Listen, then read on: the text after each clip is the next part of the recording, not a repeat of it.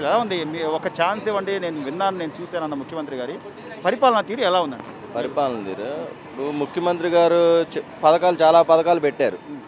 ఆ పథకాలు పెట్టినందుకు బాగానే ఉంది కానీ ఆ పథకాలు ఎంతమందికి అందుతున్నాయి అనేది దాని మీద అవగాహన ఎవరికి లేదు. అర్హులైన వారికి అందుతుందా లేదా అనే దాని మీద ఎవరూ అడగట్లేదు. పథకాలు పెట్టారు పేరుకి. ఇప్పుడు వాహన మిత్ర అన్నారు. డ్రైవర్లు ఎక్కువ ఓనర్లు తక్కువ ఉన్నారు. ఓనర్కే పెట్టారు వాహన మిత్ర అనేది. మరి దానివల్ల డ్రైవర్ ఎట్లా బతుకుతాడు? ఒక ఆటో డ్రైవర్ బతకాలంటే డ్రైవర్కి కదా ఇవ్వాల్సింది. ఓనర్కి ఇచ్చాడు. ఓనర్కి ఒక పది ఆటోలు ఉంటాయి. ఆ పది ఆటోలో ఒక ఆటోకి వస్తుంది. ఆ ఆటోకి కూడా లైసెన్స్ ఉండాలా? లేదంటే అది కూడా రాదు. ఇప్పుడు ఒక్కొక్క పథకం ఏ పథకం చూసినా ఇట్లాగే ఉంది. రైతు బంధు కూడా అంతే. రైతు బంధు అంతే. ఇప్పుడు రైతు బంధు అంటే రైతుకి ఇవ్వాలా? కౌలు చేసుకునేవాడికి ఇవ్వాలా? భూమి ఎవడి పేరు మీద ఉంటే ఆడి పేరు. భూమి ఉన్నవాడు పేదవాడు అట్టాగా అవుతాడు ధనవంతుడు లెక్కలో ఉంటాడు కానీ పేదోడు ఎట్లా అవుతాడు? పేదోడికి తగ్గేలా ధనవంతుడికి ఇస్తున్నాడు. ప్రతి పథకం అట్లా ఉంది. ఇప్పుడు అమ్మఒడే తీసుకోండి. ఇప్పుడు ఒక పేద ఇంట్లో ముగ్గురు పిల్లలు ఉంటారు. అమ్మఒడి ఎంతమందికి వస్తుంది? ఒకరికే వస్తుంది. మిగతా ఇద్దరు ఏం చేయాలి? వాళ్ళు చదువుకు అర్హుల అనర్హుల. మరి ఎలాగా? ఇప్పుడు మరి పాలపేట రేటు పెంచారు.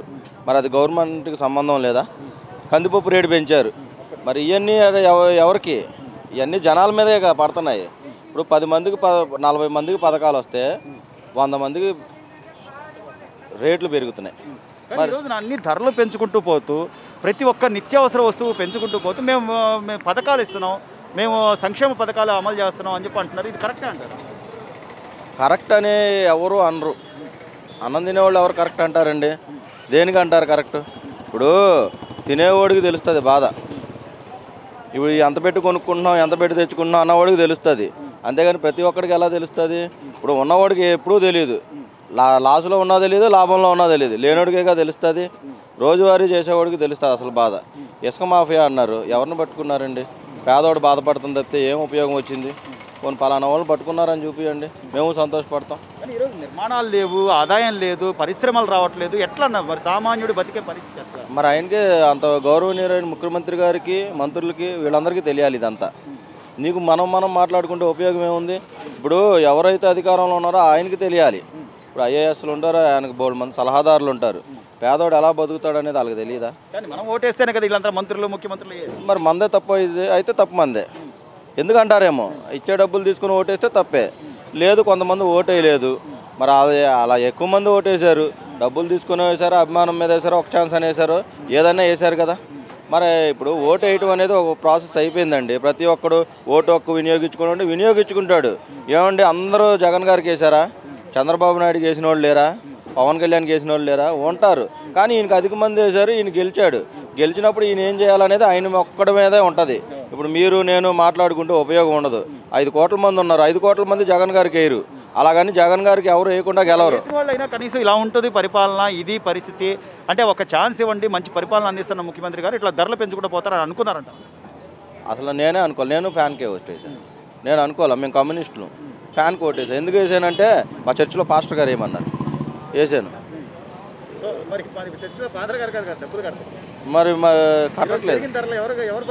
మరి? మరి మేము ఏం చేస్తాం? మేము చేసిన తప్పు మేము అనుభవిస్తున్నాం. ఇప్పుడు మేము తప్పు చేసాం అనుభవించాలి. కానీ ఇది- ఇది ఇది అందరిలో ఉంటుందన్న ఉంటామన్నా లేకపోతే కొంతమందిలోనూ ఈ ఎందుకు ఉండాలి? రియలైజేషన్ ఎవరికి ఉండదు. ఎందుకు ఉండాలి? ఇప్పుడు కూడా మళ్ళీ మళ్ళీ వచ్చి అరే నీకు పలానా చోట్ల పలానా పోస్ట్ ఇప్పిస్తానంటే మళ్ళీ జై ఫ్యాన్ అంట. ఉపయోగం ఏముంది? ఎవరు ఏముండదు పేదోడు అలాగే అయిపోతున్నాడు. అవుట్ అండ్ అవుట్గా బాధపడేది మాత్రం పేదోడే. ఇప్పుడు ఏం జరిగింది? ఎవరికి నష్టం అండి? ఎవరికి నష్టం లేదు. పేదోడేగా నష్టపోయింది. కానీ అంటే ఈ తర్వాత టైంలోనే ఆలోచించి ఓటేసే పరిస్థితి ఎవరు ఇట్లా ఆలోచిస్తే వీళ్ళు ఎందుకు వేస్తారు? ఆయన గెలుస్తాడుగా. ఎవరైనా విధలైనా ఆయన గెలవడా ఆలోచించుంటే గెలుస్తాడుగా. మొత్తం మీద ఓవరాల్గా ఏమంటావు? ఒక సామాన్యుడు రోజు పని సామాన్యుడిలో మార్పు రానంతసేపు వ్యవస్థలో మార్పు రాదండి. మనం ఆలోచించే విధానంలో మార్పు రావాలి. ఒక రూపాయి తీసుకొని ఓటేస్తామా అది కాదు. లేదా ఏదైనా సింపతి ఓటేసాం అది కాదు. అతనికి అది చేయగలిగే అనుభవం ఉందా లేదా అనేది అనుకోవాలా. ఒక రూపాయి తీసుకొని అందరు రూపాయలు తీసుకున్నారా? అతనికి ఉండే అభిమానం అతనికి ఉంది. ఆయనకి అది అందరికంటే ఎక్కువ అభిమానం ఉంది కాబట్టి అంతమంది ఓటేశారు. రెండోసారి కూడా ఆయనకే గెలిచింది. మనం ఒకసారి అంటే గెలిచాడు. మరి కార్పొరేషన్ ఎలక్షన్లో ఆయనే గెలిచాడు. అంటే ఏంటి? ప్రజల్లో ఆయనకి ఇంకా ఉంది. ఇంకా ఏదో చేయాలనుకుంటున్నాడు. మరి అయితే దానివల్ల లాభం జరుగుతుంది నష్టం జరుగుతుందని ఆయనకి తెలియాలి. సార్ ఈ రెండేళ్ళ పరిపాలనల మీద మీ అభిప్రాయం ఏంటంటారు? ఈ నిత్యావసరాలు కానివ్వండి లేకపోతే ఇంటి అద్దెలు కానివ్వండి ట్యాక్సులు కానివ్వండి ఏమి ఎలాంటి ఇబ్బంది లేదంటారు సామాన్యుడికి? ఏమండి నాకు నలభై ఏడు సంవత్సరాలు నలభై ఏడు సంవత్సరాల నుంచి చూస్తూనే ఉన్నాను. నిత్యావసర వస్తువులు పెరుగుతూనే ఉన్నాయి. అవి పెరిగినాయని అని అది కరెక్ట్ కాదు. పరిపాలన అంటారా? పరిపాలన ఏ విధంగా ఉందంటే అందరూ చూస్తూనే ఉన్నారు. పతల పరిపాలనలోనే కొన్ని మంచి పనులు జరుగుతూనే ఉన్నాయి. దాంతోపాటు ఆదాయం కూడా పెరగాలి కదన్నా పేదవాడి ఆదాయం ఎక్కడైనా పెరుగుతున్నాడు పరిశ్రమలు కానీ పన్నులు కానీ ఉన్నాయంటారా ఈ రోజు? పరిశ్రమలో పనులు అంటే ఒక పక్క లాక్డౌన్ వచ్చి తల్లాడుతున్నారు. అది తెలిసిన విషయమే అంతకుముందు కరోనా ఒక కరువు వచ్చింది మనకి. ఏ రకంగా అంటే వరద వచ్చి కరోనా వచ్చింది. కరువు వచ్చింది. అది తెలిసిన విషయమే. రెండోది ఏంటంటే అన్నిటికీ ముఖ్యం ఏంటంటే రాష్ట్రం కూడా ఆల్రెడీ లోటు బడ్జెట్లో ఉంది. ఖజానా ఖాళీ. అయినా కూడా పరిపాలిస్తాను చాలా గ్రేట్ ఒక రకం చెప్పాలంటే. రాష్ట్ర ఖజానా లేదు తక్కువగా ఉంది. మరి కేంద్రాన్ని ఎందుకని డిమాండ్ చేయడం ఈ రోజున మీరు కేంద్రంలో వేస్తున్నటువంటి ట్యాక్సులు తగ్గించండి. మాకు మేము రాష్ట్రం విడిపోయి ఉన్నాం. మా బడ్జెట్ తక్కువ ఉంది అని ఎందుకు అడగట్లేదు మనం? ఎందుకు ప్రజాప్రతినిధులు? అసలు కేంద్రమే సరైన కేంద్రం కాదు అసలు. పరిపాలన అడుగుతుంది దొంగ పరిపాలన బీజేపీది ఆల్రెడీగా. దోసుకోవడం తప్ప వాడికి పెడతాం తెలియదు. ఆంధ్రని ఏ రోజు కాపాడింది అది? కేంద్ర ప్రభుత్వం అనేది కేంద్రంలో ఉన్న ఏ ప్రభుత్వం ఉన్నా కూడాను ఆంధ్ర రాష్ట్రం కాపాడిందా? అంతకుముందు ఏమో డివైడ్ రెండు ఒక ఓటు రెండు రెండు ఒక ఓటు రెండు రాష్ట్రాలు అన్నారు. అది బాగానే ఉంది. ఎడగొట్టింది వాళ్ళే. ఆల్రెడీగా పచ్చ హోదా ఇస్తున్నది వాళ్ళే. ఇవాళ పచ్చ హోదా ఇస్తున్నది? పెద్ద ప్యాకేజ్ కూడా ఓటు లేదు. మరి అదే రాష్ట్రం ప్రత్యేక హోదా కోసం మెడలో వంచి తీసుకొస్తాను నాకు అవకాశం ఉండన్నారు కదా అప్పుడు ఏమందుకున్నారు? కారణం ఏంటంటే మనకు పులు సబ్బడ్డీ వస్తే అక్కడ ఏమన్నా సంఖ్యన ప్రభుత్వం ఏర్పడితే మెడల మంచి తెచ్చుకోవడానికి ప్రతి ఒక్కడికి అవకాశం ఉందని ఆ ఉద్దేశం అందరు తెలిసిన విషయం అది. దాన్ని పట్టుకుని మనం ఏడతాం కరెక్ట్ కాదు కదా. కారణం ఏంటి అసలు? సంఖ్యన ప్రభుత్వం ఏర్పడుతుంది. అప్పుడు మన బలం కూడా చూపించుకోవచ్చు. మనకు అవకాశాలు ఉన్నాయి. మెడల మంచి తెచ్చుకోవచ్చు ఉద్దేశంతో అన్నాం ఆ మాట అది. దాన్ని ఎప్పుడు ఆడతట్లాగా ఆడండి కరెక్ట్ డైరెక్ట్ వాడికి మెజార్టీ ప్రభుత్వం లేదు. కేంద్రంలో వాళ్ళే ఉన్నారు. కనీసం మంత్రులు వెళ్ళి లేదా ముఖ్యమంత్రి గారు వెళ్ళి "ఏ బాబు మా పరిస్థితి ఇది మాకు ఇంత లోటు బడ్జెట్లో ఉందాం మాకు నిధుల గురించి పక్కకు పెట్టినా కనీసం ట్యాక్స్లు తగ్గించండి అని అడిగే పరిస్థితి లేదంటావా? ట్యాక్సులు తగ్గించాలి అంటే ఇప్పుడు ఉదాహరణ చెప్తానండి.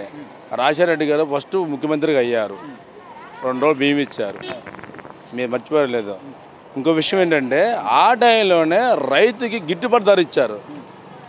గిట్టుబాటు ధర ఇచ్చారు. గిట్టుబాటు ధర ఏంటంటే ఉదాహరణకు ఒక బస్తా కింద బస్తా బస్తా ఉందండి వడ్డు వెయ్యి రూపాయలు మా పాతది. ఇప్పుడు పదిహేను వందలు అయింది అనుకుందాం. అంటే రైతు గిట్టుబాటు ధర పెంచినట్టే కదా? మరి పెంచిన ధర ఎవరి మీద వేస్తారండి? ఆటోమేటిక్ ట్యాక్స్లు పెడితే రేట్లు పెరుగుతాయి కదా? పెడితే ఇవ్వగలుగుతారు. ఒక ఎంప్లాయీ ఉన్నాడు వాడికి వాళ్ళ శాలరీ పెరిగింది. మరి ట్యాక్స్ రూపంలో వస్తేనే శాలరీ పెంచగలుగుతాడు. ఎక్కడి నుంచి వస్తుంది? ఫండ్స్ ఎక్కడి నుంచి వస్తాయి డబ్బు నుంచి వస్తాయి. శాలరీ పెరగాలన్నా గిట్టుబాటు ధర కావాలన్నా ఏదైనా సరే ఆటోమేటిక్ పనుల మీద పనులు భారం పడతానే ఉంటుంది. ఇంత ఇంత- పన్నుల భారం పడుతున్నప్పుడు అయినా కూడా సంక్షేమ పథకాలు అప్పులు తీసుకొచ్చి ప్రజలకు ఇవ్వడం కరెక్ట్ అంటారు ప్రజలు కరెక్ట్ అయినా అంటే మరి ప్రజలేమో బాధల్లో ఉన్నారు ఇబ్బందుల్లో ఉన్నారు. అద్దుకోవడం కంపల్సరీగా రాష్ట్రంలోని ఎవరైతే ఉన్నారో వాళ్ళ బాధ్యత. ప్రధాన బాధ్యత. అందుకని వాళ్ళు ఆదుకోవాలి. తప్పదు అది అది కామన్ తప్పదు అది పరిపాలన పరిపాలన వాళ్ళకేం తీసుకోవట్లే? ప్రజల కోసం చేస్తున్నారు అదంతా ప్రజల కోసం చేస్తున్నారు. పరిపాలించడం తప్పదు కదా అది. పరిపాలించడం తప్పదు కంపల్సరీగా.